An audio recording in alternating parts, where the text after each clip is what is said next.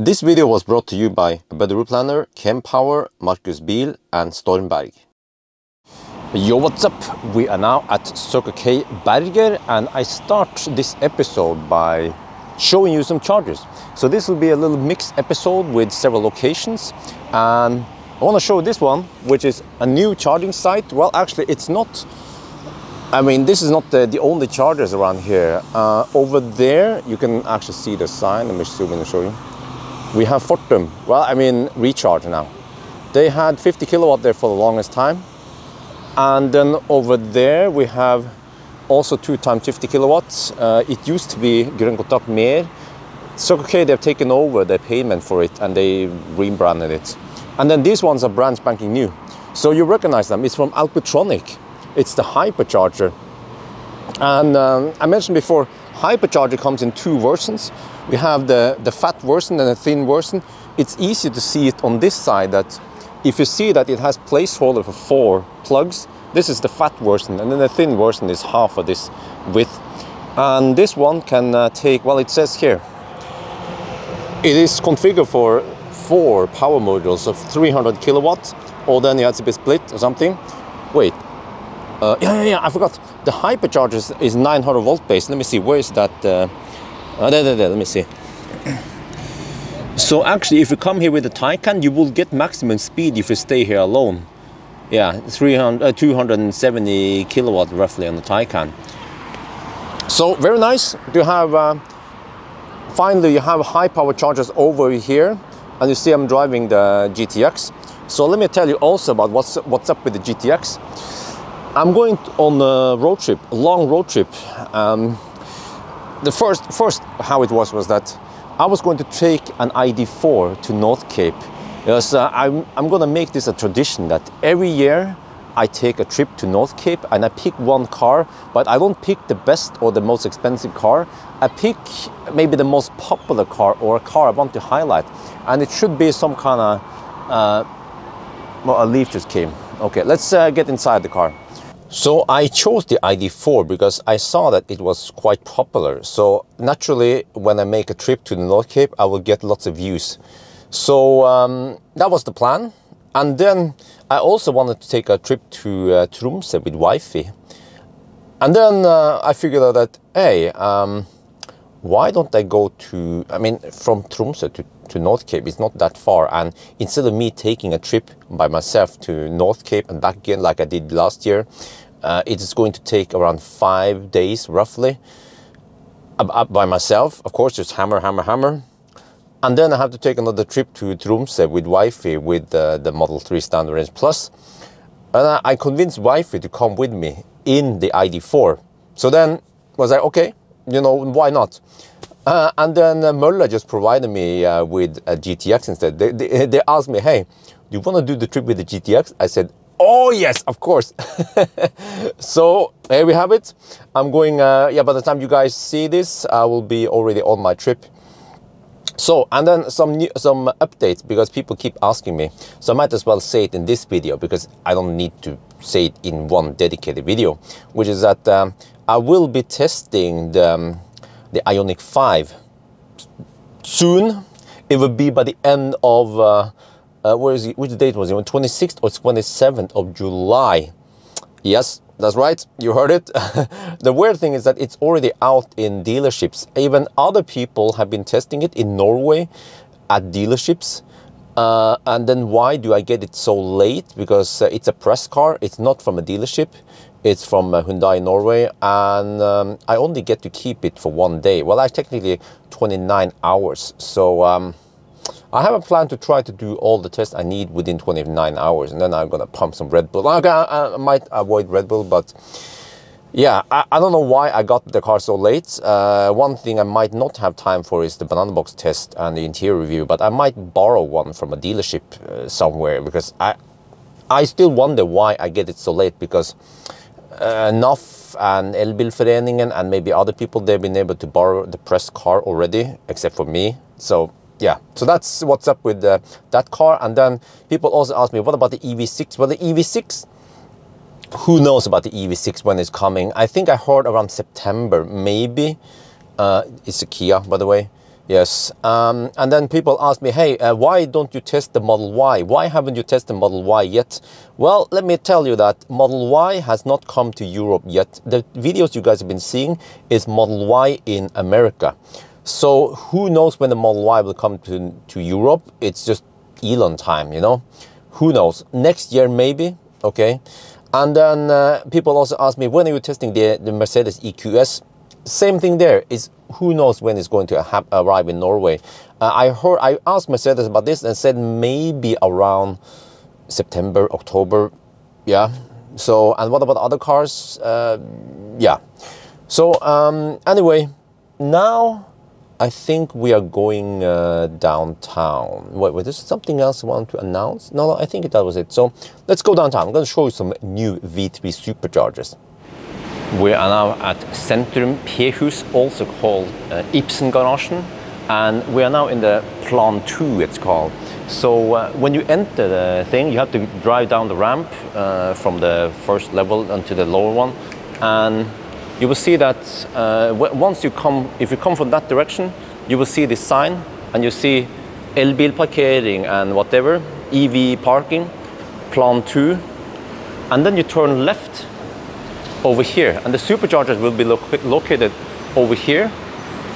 And you know, in other countries, uh, at least in America, they go for urban chargers, 72 kilowatt only. But fortunately, in Norway, and I guess other European countries, we will get full V3 superchargers. So um, I counted 18 stalls here. Uh, yeah, and these are, you can see it's a V3 because uh, it has only the CCS plug and these are water-cooled cables. But interestingly, you know, in the past, Tesla's been actually posting about this. Everyone claimed that a V3 has one megacharger stack divided by four stalls. Well, if you do the math here, uh, six of these 18 stalls, that means three on each stall. Yeah, so that's different because it's not four per stall, it's three per stall. But um, if we read the sign here, let's see, I'm going to try to zoom in so you can read anything at all. You will see that it says a lot of stuff, yeah? But the important thing is here, input power, 575 kilowatts. I think that's what is then divided by, you see, pulse DC output, this one, 250 kilowatts. That's the maximum. But you see that this one supports 1000 volt. So it seems like the V3 has been uh, uh, designed to support future 800 volt based uh, Teslas. But um, 575 kilowatt divided by three stalls, that's almost 200 kilowatt each stall. Not the, the four, not the one megawatt uh, and the four stall thing. So just to, to let you know that this is the way it works actually not the whole i don't know where they came from the whole one megawatt charger and whatever. So you, you will also recognize these in other v3 locations. But uh, interesting uh, the way they put them. Now so i want to talk about something which is um, you know any tesla can charge here but as for now only teslas can charge here. Other evs no use for you. But uh, if you have cars that can charge for free, how much will it cost then? It's free, right? Well, it's free except for that you have to pay 24 hour per day here. You have to pay for um, uh, for for parking. Uh, so uh, as soon as you get in here, you have automated uh, license plate recognition, and it's 38 NOK per half an hour you start. So um, then the question is, how long do you need to charge it? Do you need to charge 30 minutes or one hour? So I try to time it with the GTX. This is the first time I come here to look for the supercharger. So I used roughly one minute from I saw that uh, sign that says welcome license plate EC whatever 58 until I got here. So I guess if you know your way here, you can hammer it and get in here and no, don't hammer it. Don't drive too fast. It's a parking lot. But um, let's say worst case you have two minutes of overhead to enter and then maybe two minutes to exit. So that means four minute overhead. And then, so within half an hour, you can charge for roughly 25 minutes. And then I did the math that if you charge for 25 minutes on a Model 3 with hot battery and low steady charge, best case, uh, you will get, oh, I don't remember how many kilowatt hour, but uh, the price you have to pay extra is around 0.7 NOK per kilowatt hour, which is 7, cent, 7 euro cents. So that's the price on top of if you have to pay for supercharging. And then uh, for Model S and X with big battery, they charge a little bit slower. So then roughly one NOK per kilowatt hour for those cars. Given best case again, uh, if you don't have hot battery in winter or whatever, if you have 50% and you come here, you might also pay one NOK or maybe 1.5 NOK per kilowatt hour. And the same goes for cars that uh, like classic cars like Millennium Falcon, which free supercharging, but they don't charge that fast. So then you also pay roughly 1.5 NOK per kilowatt hour. It's still damn cheap compared to home charging because this is DC after charging loss. But uh, if you have access to home charging, you know there is no, no there is no such thing as free lunch, right? So then uh, you probably want to charge other places instead, slow charge rather than coming here because I don't recommend buying a Tesla and only rely on fast charging because you have to come in here, okay, it's open 24 7, but you have to waste time because I only mentioned the overhead from, from the entrance, but I don't know who, where you live. You might have to drive back and forth and it will cost you another 15 minutes just so you can fill up the car. But I know some people have done that in the past. I met people at Haugaas supercharger at Bergen. They bought a Tesla with free supercharging, uh, partly because of me, or and then they only supercharge it, maybe because of a temporary solution, or they actually do that on permanent basis. But yeah, but at least here you have it, V3 superchargers. I'm happy that they went for V3 because if they only went for 72 kilowatts, then it will also be kind of expensive. But I heard now that uh, these city chargers are coming. And also Elon said that, well, I heard this from Tesla. I don't remember who it was, but you know, these chargers will eventually be open. So it's not a question of if Tesla will open it, it's a question of when they're going to do it. So eventually, hopefully, other cars will also be able to get access to it. I talked about this before, but as for now, only Teslas. And they will open this uh, Thursday next week. But Thursday next week, I will not be here because I will be on a road trip with the GTX on my way to uh, uh, North Cape. So anyway, yes, interesting. Uh, now I'm going to uh, check out NIO. They're building something in Oslo. And then we're going to check out some uh, boat chargers. We're now at Karl Johans gate. This is the bigger, one of the bigger streets in Oslo. You can see it's mostly a walking street, very centralized. And you know, all the, like we have Grand, Grand Hotel, you know, top of the crop expensive. Uh, the walking street goes all the way over there.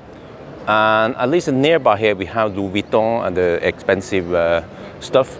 And also down there, we have some shopping and some restaurants or whatever. And right in the middle here, the Karl Johan and Rosenkrantz gate, NIO is building something. So uh, let me see, there is a QR code that you can scan if you want to know more. I'm not sure what, what, where it goes, but uh, you should be able to scan this. So NIO, uh, I have some connections with NIO. Well, let me show you how big it is, by the way. It's freaking huge, and you can imagine getting this location in at Karl Johan. These guys have some money.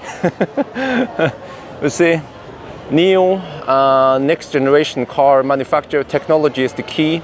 I tried NIO before the ES8 in München. Oh, I, I want to poke in there to see what's going on. I mean, uh, let me see, can I see? No, no, no, okay, not much to see. But I bet this is going to be a showroom. Uh, similar to Polestar, they have Polestar a little bit further down there, but uh, the location of Polestar is not as nice as NIO's. So uh, I tried the ES8 many years ago, uh, but it was a Chinese version. And I guess they will be bringing out ES6, ES8, and also the ET7. Hopefully, we can see this over here. And yeah, yeah. By the way, okay, okay, okay. So um, I've been seeing uh, an e, ES8 around Oslo around Norway actually. First I saw it around Oslo, I took a picture of it. Uh, it was near the Thai embassy, just happened to be there. And then I also saw, I don't know if you guys saw it, in one of the road trips. Uh, yeah, it was with, um, with the e-tron GT road trip. Uh, I overtook it uh, on the way to, uh, oh, what is it again? Suleskar. So supposedly uh, there were some Chinese people driving it. I bet they are driving around Norway just to test the charging network and just to drive around with it. Uh, so NIO is doing something here. yeah. So we will see. Hopefully, what will I, I, can show you on the other side. By the way, Let's stand on one place here. So, yeah, this is a construction site, but just to show you, get over there. Okay, here. It's going to be big. This is freaking huge. so they are really investing in Norway. Yeah, blue sky coming. You see, all of this is going to be. Uh, how big is it really? How many hundred of square meters is it? All the way here, supposedly they're building something. Yeah, but yeah. So anyway, yes. About oh, what is this? What's this? What's this? I see a hole. I poke in it. Well, but okay, I mean, they they're not gonna have cars in here yet. Yeah, okay, nothing to see, nothing to see. But I have connection with NIO. Um, I talked to them a long time ago. I borrowed the car from München. I emailed them about the ES8 in Norway. They haven't responded. Maybe I have to email another guy. But uh, looking fresh, right? Yeah. So the last thing I will do is check out the boat charger. Okay, last location for today is Akerbrygge. You know Akerbrygge. Uh, over here we have something cool. It's called Elbåthavn. Uh, Elbåt is electric boat, and you guys remember Cruiser? I made a video about it. Uh, we went on, uh, yeah, these boats, the cruiser boats. So now they, I guess they partner up with Green Boats, and maybe I don't know if they have some stuff with municipality, but you can check out again the QR code. I'm not sure if you can uh, scan this one or this one, green boats. But uh, yeah, let's check it out. So we have SAP chargers over here. This is just AC. And uh huh, okay, that's interesting. So this is um, uh, 16 amp. Yeah, this is 16 amp plug. I guess those boats here, they use 16, yeah, yeah, yeah, you see? The crucibles, they use a 16 amp. Wait, did they get more crucibles? Hmm, okay, but, oh wow, okay, wait a minute. So let me see, how do you activate these? Um, I'm not sure which app you need. BKK, okay, ah, ah, BKK, yes. Uh, I think actually these will show up on BKK app, the same the same app you have for uh, for charging cars. I, I guess we can uh, we can quickly check it out now. So let's see. I have all these apps. As an EV driver, you need all these apps, and here's the BKK app. And let's see if it shows up. Hey, look at this plug Aker Brygge. Okay, so we have one type 222 kilowatt and then CCS. Really? Huh. Yeah, so we are the BKK app, but uh, big mystery is why does it only show up? I'm not sure about these ones. These are not uh, in the thing. Um, but the one I wanted to check out is this one. Wait, where's the where's the 22? Oh, do you guys recognize this? Kempower, yes. Wait, this one doesn't have two times 40 kilowatts, does it? Um, because if we look at the plug here, this is, um, let's take a look at it.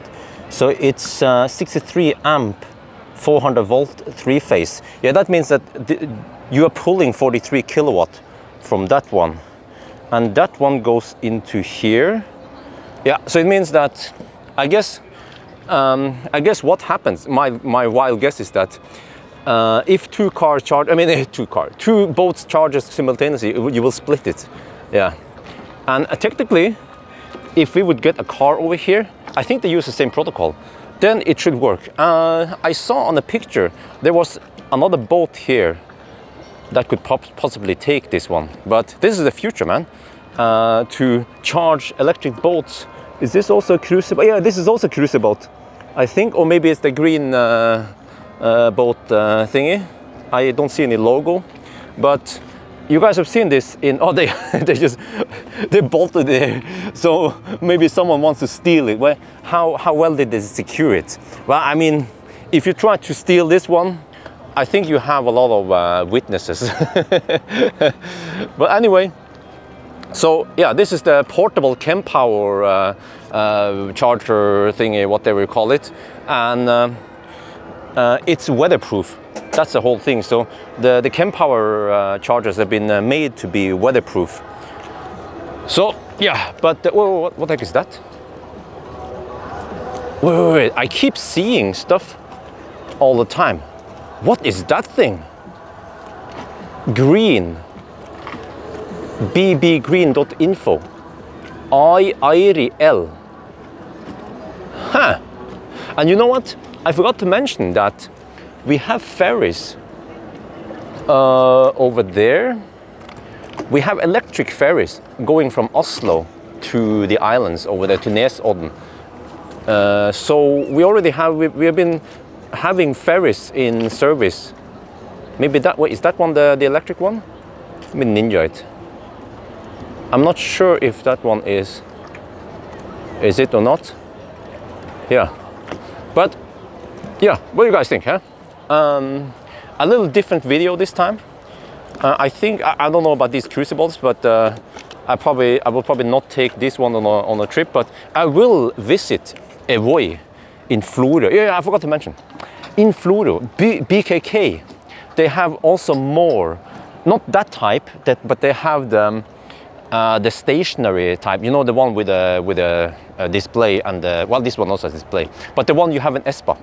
BKK, they also have boat charger in Florø. and then Evoy is a company that builds these uh, pretty fast, um, it, it's called RIBS, yeah. And it's supposedly the world's fastest electric boat.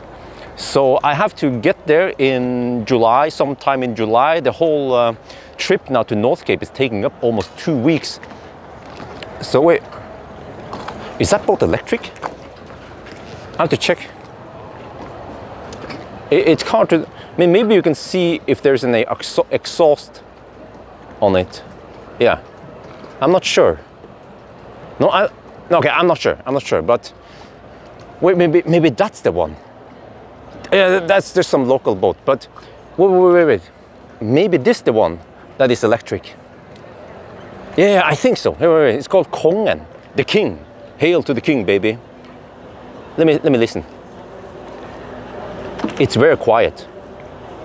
Yeah, and you know, it has a very futuristic design. Wait, wait, wait, what are those pipes?